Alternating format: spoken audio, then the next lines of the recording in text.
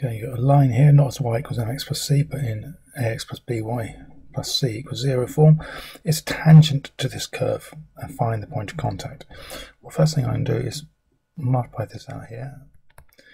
And then I'm going to take find out what y equals there and substitute in y as this y here. So this is 4x squared minus 8x and then minus 3 more x, so that's minus 11x, and minus 3 times minus 2 is plus 6. This bit here, add 2 to both sides, and then take away 3x. And then y equals this, so basically I'm going to say y is that, or I could just say they're both equal each other. So 2 minus 3x equals 4x squared minus 11x plus 6 and get it all over to one side. Uh, so I have 0 on the left hand side. That's going to be 4x squared. Add 3x to both sides, so that'll be minus 8x. And then take away 2 from both sides, that'll be plus 4. Obviously, I can now divide through by 4. So I get 0 equals x squared minus 2x plus 1.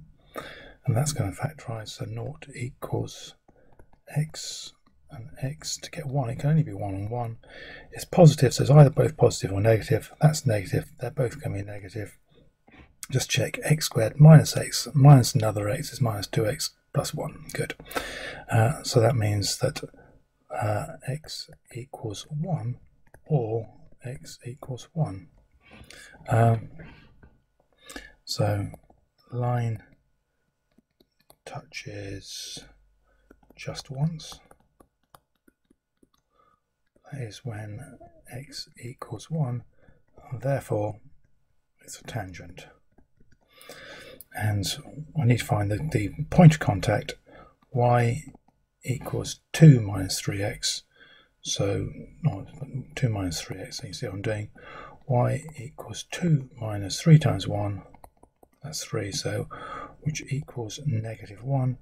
So it's 1 um, minus 1 is the point of contact.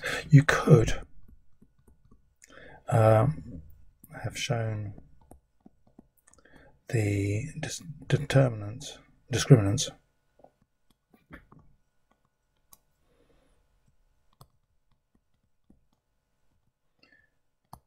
equals 0 discriminant b squared minus 4ac from this bit here. b is negative 2, so negative 2 squared minus 4 times a is 1 times c is 1. So that is 4, take away 4, which equals 0. Therefore, tangent. But didn't really to we've both found that a repeated root of 1 and we needed to find out what the point of contact was. And uh, that's that done.